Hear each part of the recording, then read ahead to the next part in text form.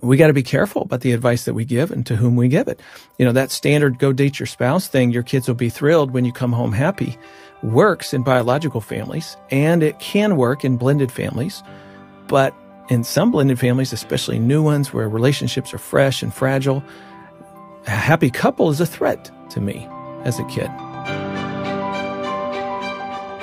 Hey, welcome. This is Family Life Blended, and I'm Ron Deal. This donor supported podcast helps blended families and those who love them pursue the relationships that matter most.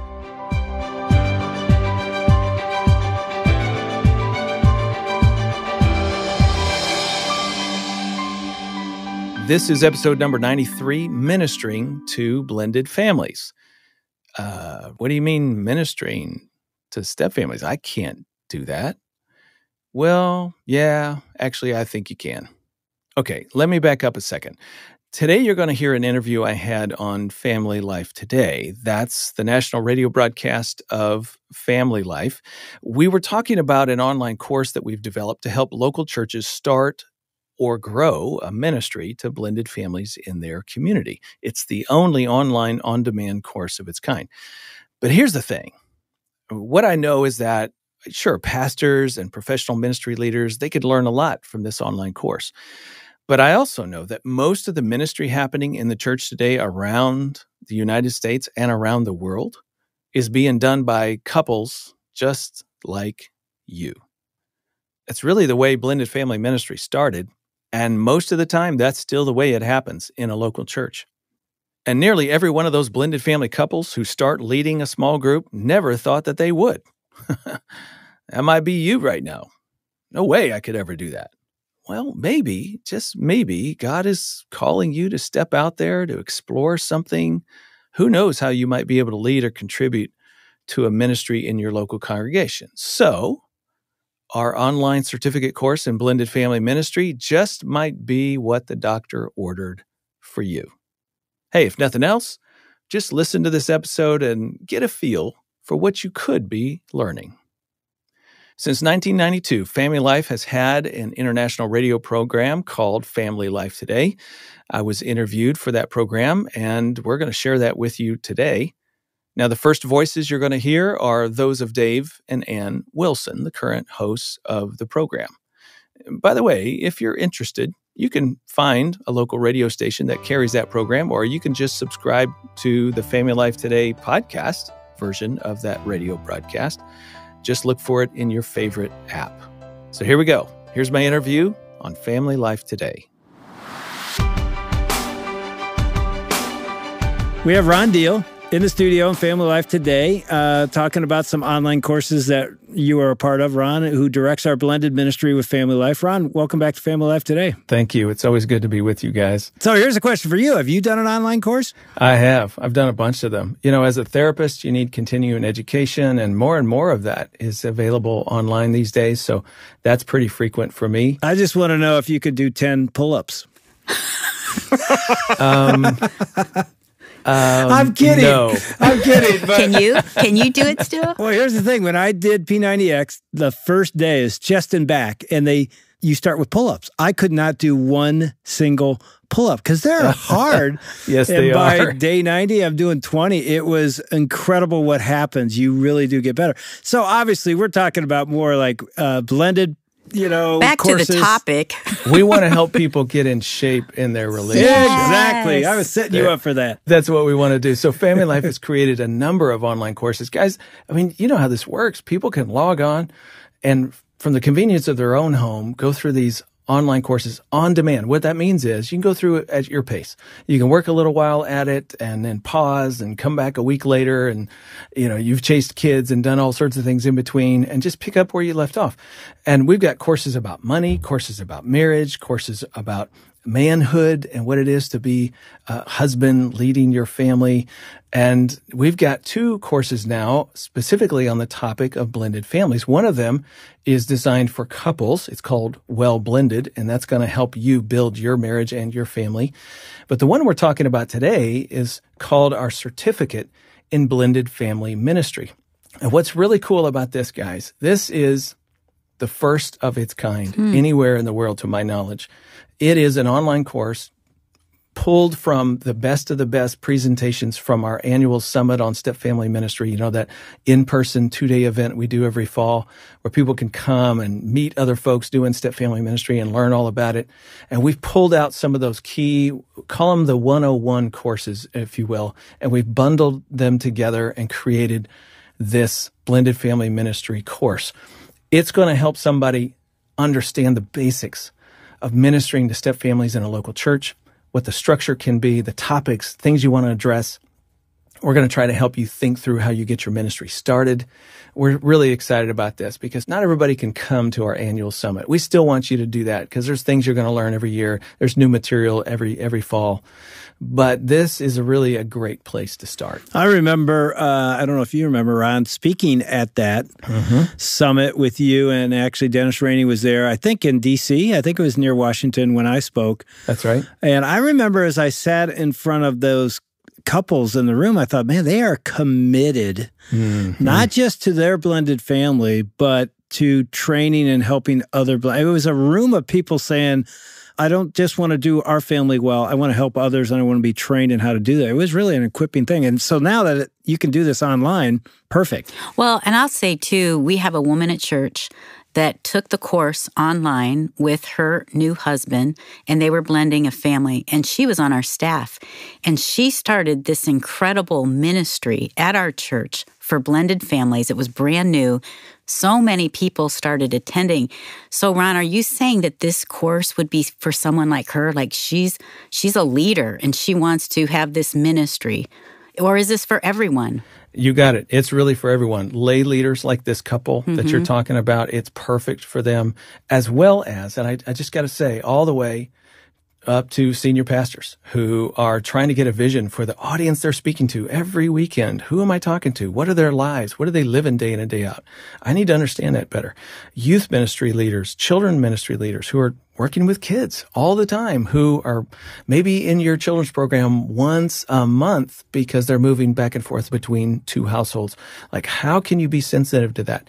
That's the kind of stuff. And those are the people that this would be appropriate for. Premarital counselors, people who are just trying to get a sense of ministering to couples and families and individuals in this day and age. And you know, it occurs to me we have to start this series with a theology of step family ministry. And that's important because we always need to go to the scriptures and say, all right, what do we find here that are principles that help us move forward in how we minister to people? And so one of the messages that we really want to bring to people, we're going to start with a clip from this message from Pastor Rob Bugh, who at the time was senior pastor of Wheaton Bible Church in West Chicago. Uh, a little background before we roll into this clip. His first wife died of cancer. He later married Rhonda, whose first husband had also died. And then they blended a family of seven kids. So Rob and Rhonda blended family with seven kids. Now, in the first part of Rob's presentation, he shares that they had a rough process integrating their family in their in their home. Like many step families, they found it harder than they anticipated. And then he shared some of the stats that we know about step families. 40% of parents raising kids are blended families. 62% of couples in the U.S. under age 55 have a step relationship with a, either a step parent or a step child connected hmm. to their, their relationship. And about a third of all weddings in the U.S. today, at least a third, I think that's a low estimate of weddings in the U.S. form blended families. So he, he shared all that to kind of set up what you're about to hear. And then he begins to make a case for step family ministry. Let's listen.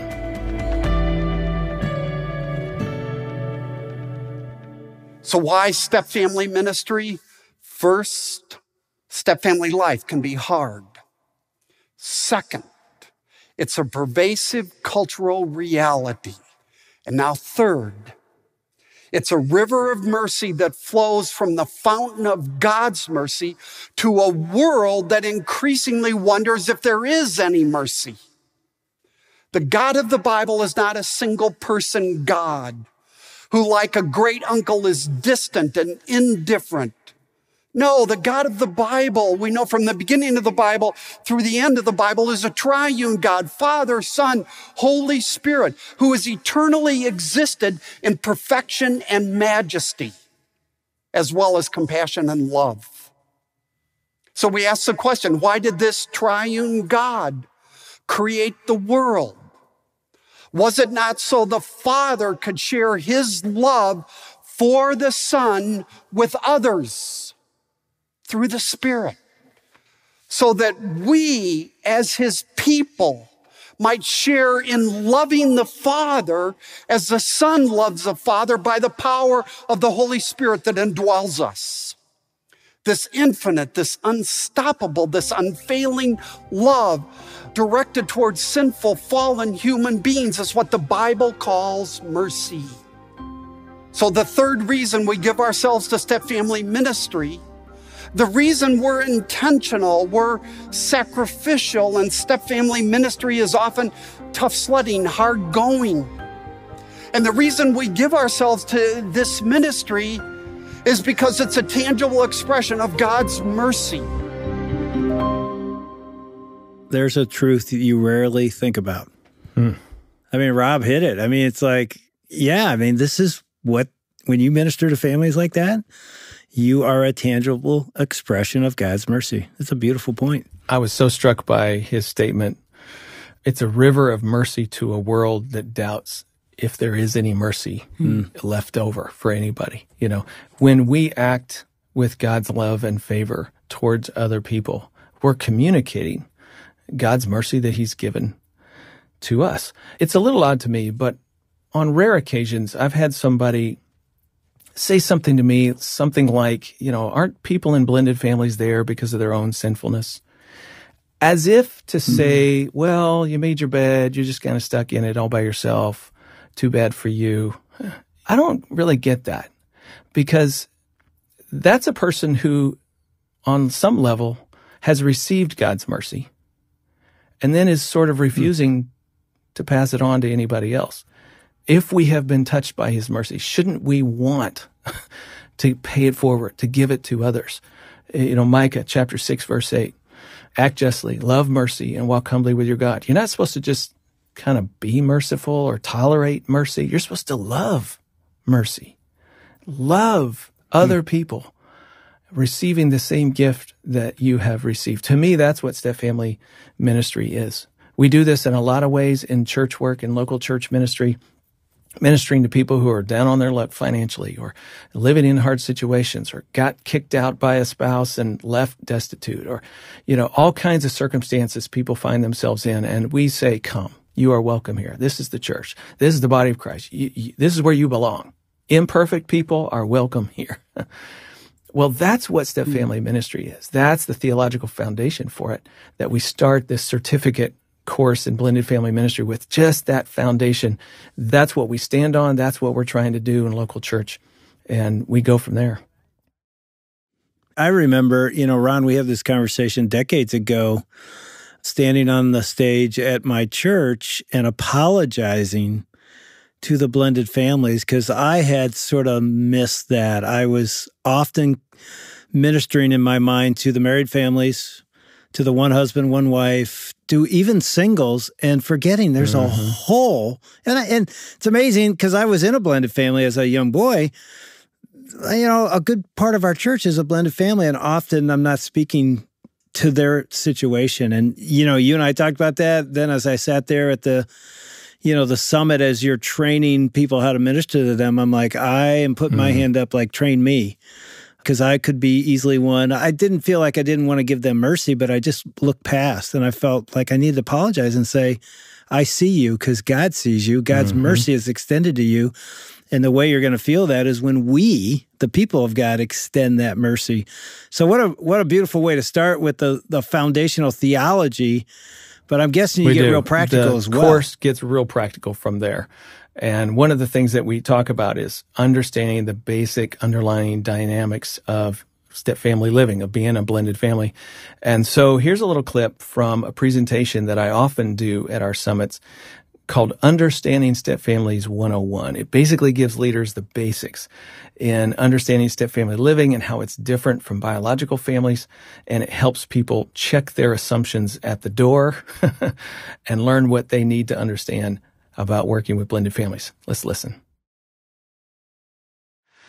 So now what I want to do is I want to spend a little time talking about how step family living is different. Again, I'm trying to show you different points of view about complexity. That's the whole point of this is understanding complexity. So I'll, let's talk a little bit about biological families, traditional families that you, are probably more familiar with, and how step families can be different from that, just to give you a, another snapshot. We'll do a number of these. Dripillator and percolator, what's that all about? Um, have you ever heard that phrase, as goes the marriage, so goes the family, right? That makes a lot of sense. And that's a dripillator observation, right? As goes the marriage, it drips down onto the kids and the parenting and the process of being a family and doing family life because you as the couple are the the leaders the guides to the family and so if your marriage is struggling and you're fighting and you, they're at odds with one another not cooperating then it drips down onto everybody in step families that is true but it is also true the percolator as goes the kids and the children and the parenting so goes the marriage it can go up. Wish I had a nickel for every time a couple has said to me, Ron, we get along great in our marriage, but when the kids come back from the other home, we fall apart. That's percolator because the kids bring stress, the kids bring something, they're feeling whatever it is. Mom's in the other home said so and so, and now this kid's coming back, and now they're being mean to the stepmom. And the stepmom goes to the husband and says, What do I do? And the husband says, I don't know. Why are you bothering me with this? Well, you're my husband. Why are you not on my side? Could you talk to your daughter? No, I'm not going to talk to my daughter. That's an issue between she and her mother. Well, no, now it's an issue between you and me. And it can just go like that. It starts in the other home, ripples through a kid into the step parent relationship. Next thing you know, it's the marriage. I would even say there's another dynamic and go side to side. So top down, bottom up, and between homes, right? Stress just can ripple in a lot of different directions. It always ends up in the couple's marriage because they're the ones who carry the responsibility to figure things out. And that's hard on them. It's just hard on them. So anything we do that come along and help make sense out of that, to support them, encourage them, embolden their relationship, keep them secure with one another, even if they can't fix anything going on in the other home, but at least that marriage is holding on, then there is a stabilizing force in the midst of all of that stress. Here's another assumption that we often have about family life, and that's that putting the marriage first provides stability and security for the kids. The way we like to say this, have you ever heard the best thing a father can do for his children is to love their mother. That's based in a, systemic understanding of relationships. Very true, very insightful. When a father loves the kid's mother, their marriage sets a climate and environment for him to love his children and for the children to grow up in a healthy environment where they feel safe and secure because mom and dad are together and they're safe in their relationship and they are the leaders and backbone of our home. And so everything just flows very nicely. But let me ask you this question Would it be also true to say that the best thing a stepfather can do for his stepchildren is to love their mother? That's a really good question. And I want to know the answer. Me too.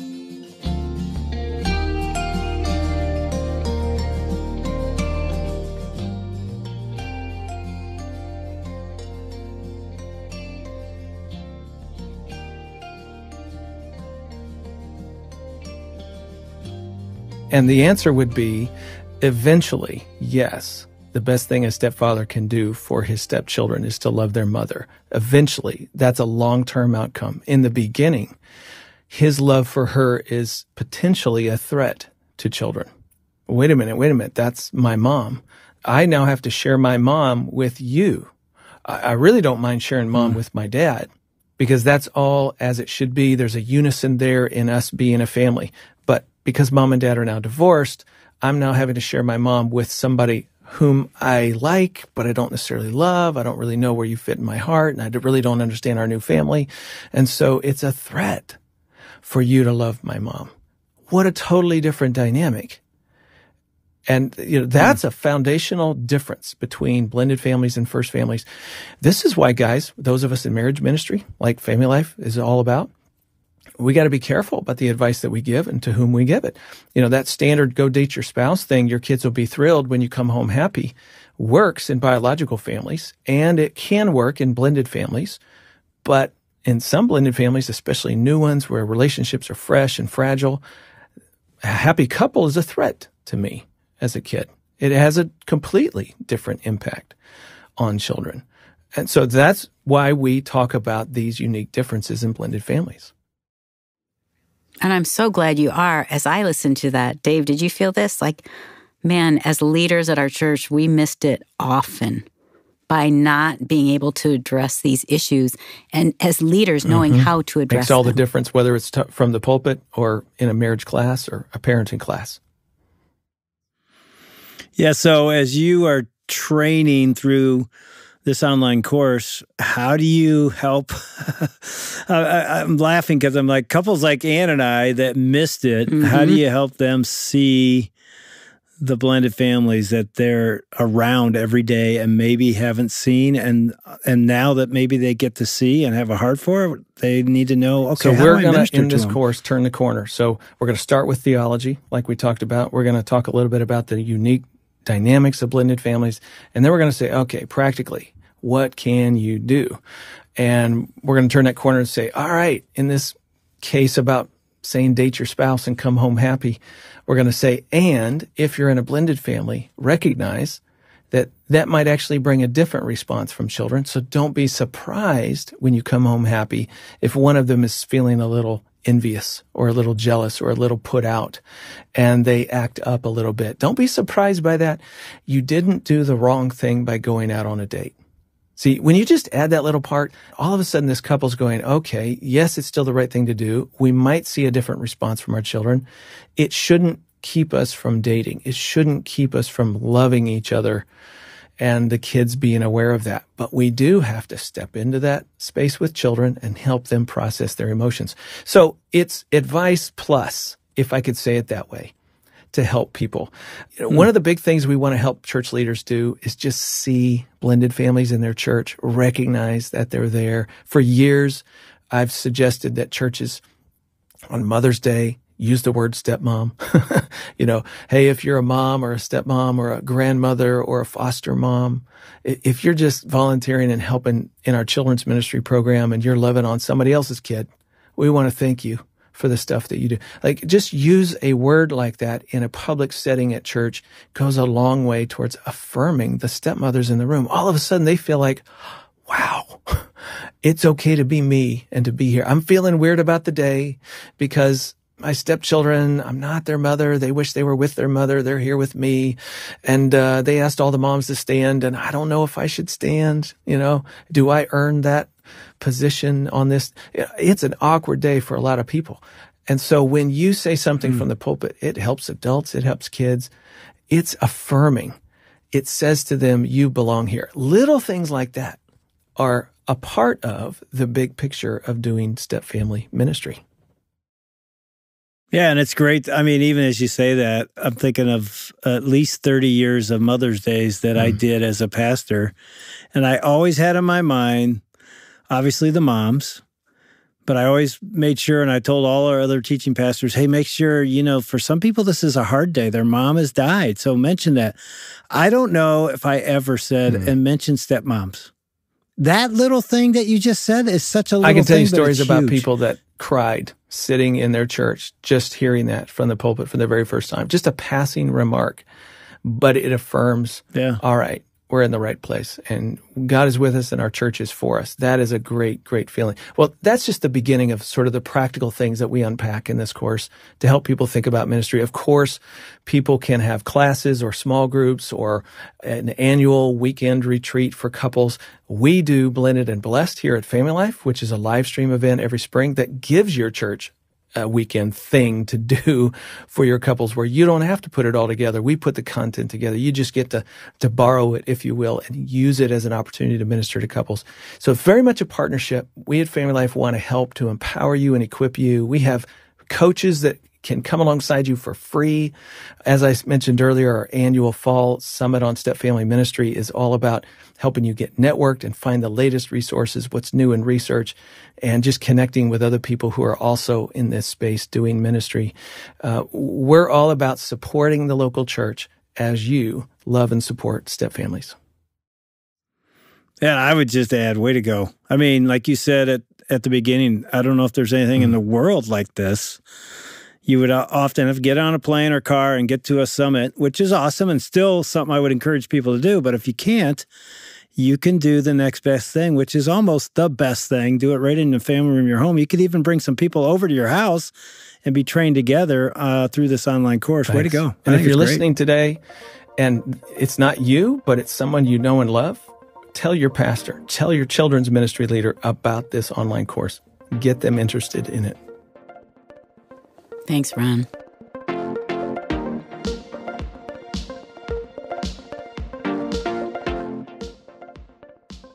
You've been listening to my conversation with Dave and Ann Wilson on the Family Life Today radio broadcast. I'm Ron Deal, and this is Family Life Blended.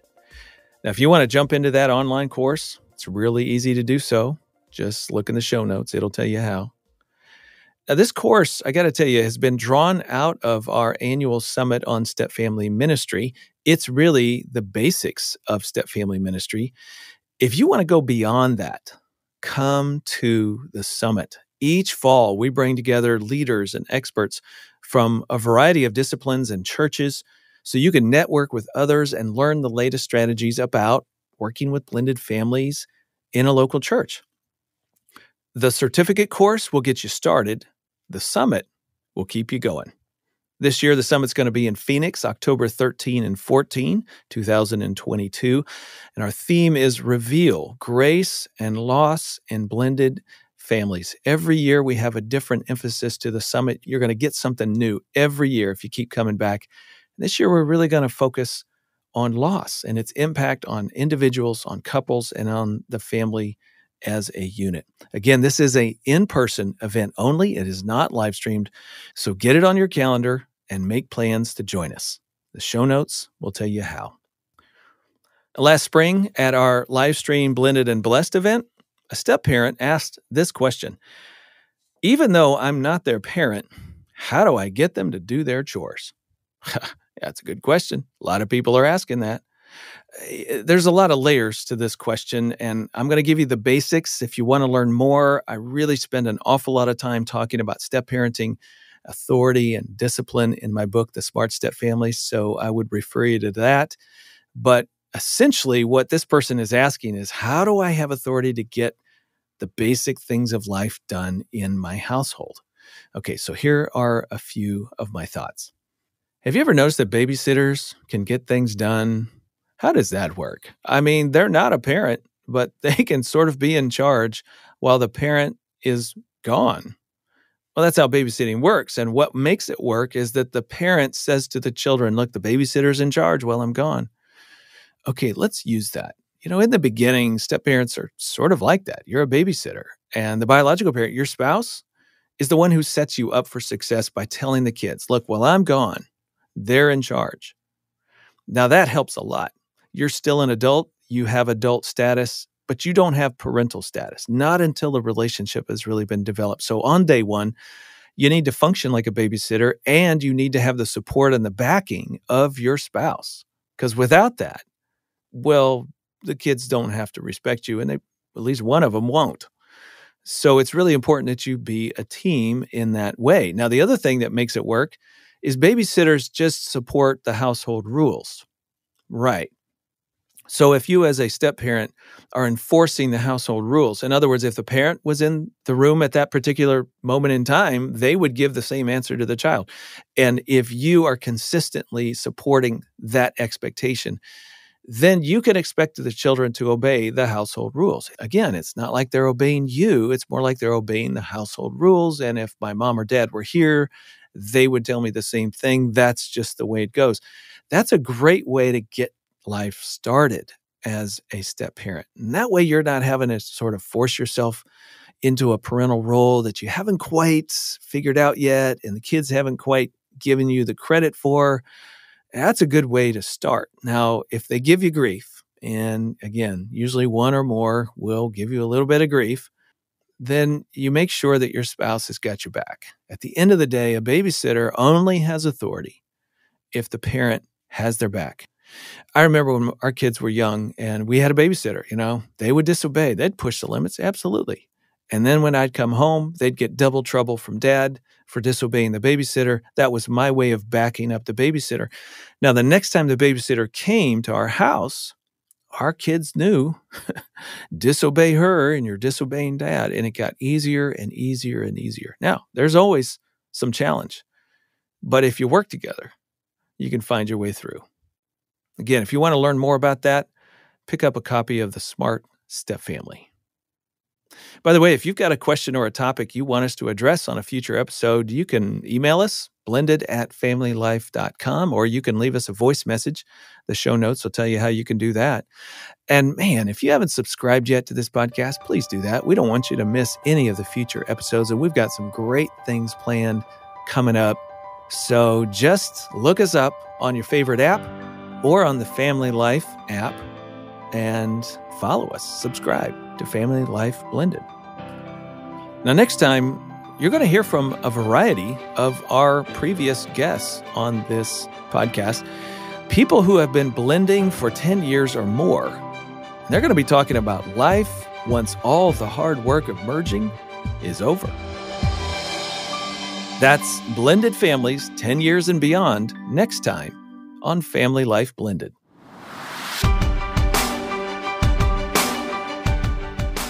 I'm Ron Deal. Thanks for listening.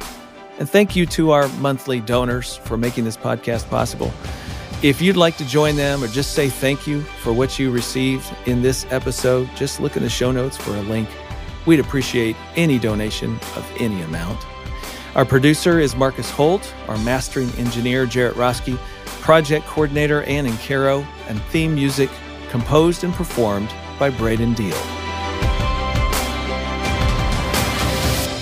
Family Life Blended is part of the Family Life Podcast Network, helping you pursue the relationships that matter most.